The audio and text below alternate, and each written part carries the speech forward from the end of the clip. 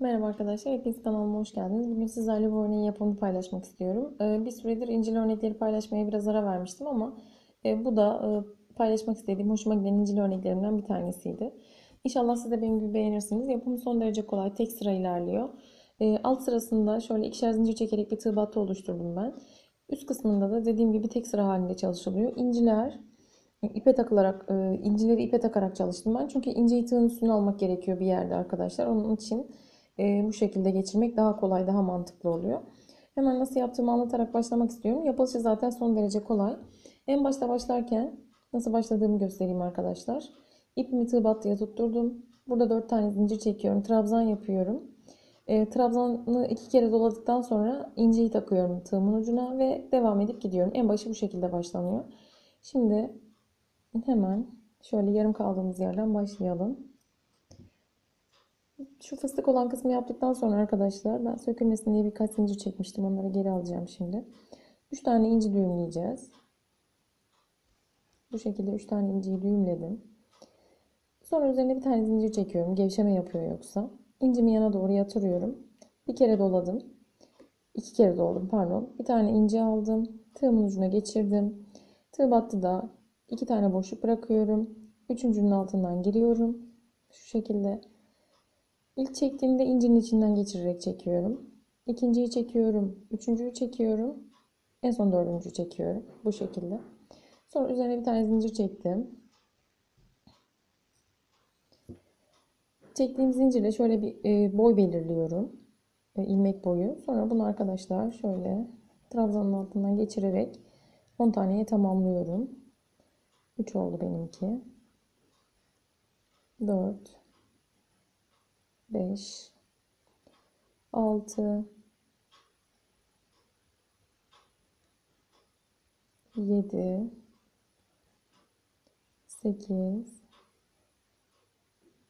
9 10 10 taneyi yaptıktan sonra tığdaki görüntü şöyle arkadaşlar. Bunun hepsini birden topluyorum. Düğümlüyorum. Üçgenim oluştu. Gene 3 tane ince alacağım. Şöyle ipimden biraz çıkarayım. 3 tane incimi düğümlüyorum. Sıkı bir şekilde üstüne bir tane zincir çekiyorum. Sonra iki kez doluyorum tığıma ipimi. Bir tane ince alıyorum.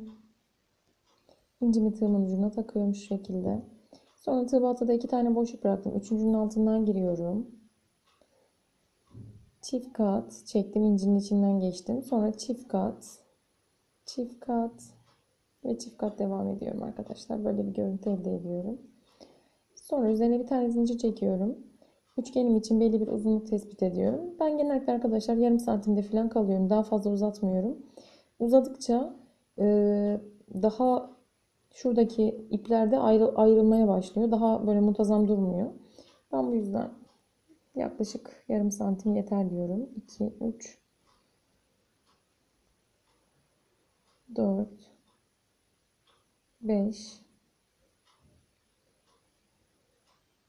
6, 7, 8, 9, 10 tane yaptım. Hepsini birden düğümlüyorum. Üzerine 3 tane inci düğümlüyorum bu şekilde. Bir tane zincir çekiyorum inci gevşemesin diye. Tekrar iki kez doladım. Biraz inci çekelim arkadaşlar. Bir tane inci alıyorum. Tığımın ucuna takıyorum. Tığ battıda iki tane boşluk bıraktım. Üçüncünün altından giriyorum. Şöyle önce incinin içinden geçiyorum. Sonra çift kat. Sonra çift kat geçiyorum. En son tamamını topluyorum bu şekilde. Bir tane zincir çekiyorum üzerine. Zincirimi çektikten sonra bir ilmek uzunluğu tutuyorum. Tuttuğum ilmek uzunluğu gibi bu benim ölçüm oluyor. 10 tane yapacağım. 2 oldu. 3 4 5 6 7 8 9 10 Hepsini birden düğümleyip topluyorum arkadaşlar. Örneğin bu şekilde yapılıp devam ediyor. Çok zor bir örnek değil. O yüzden çok fazla videosunu uzatmayacağım. İlk yapıldığında arkadaşlar şöyle göstereyim. İnciler birazcık öne doğru eğri duruyor. Özellikle üstteki üçlüler. Ama düzgünce ütülediğimizde bunlar yerleşiyor. Ben şu önden şimdiki yaptıklarımız yan duruyor gördüğünüz gibi. Şu öndeki kısmı ütüledim şurayı. Ütülendikten sonra çok muntazam duran güzel bir örnek oluyor. Ee, size önemli bir tavsiyem var burada. Ee, ütülerken arkadaşlar muhakkak ütü için tülbent kullanın. Üzerine sererek ütüleyin.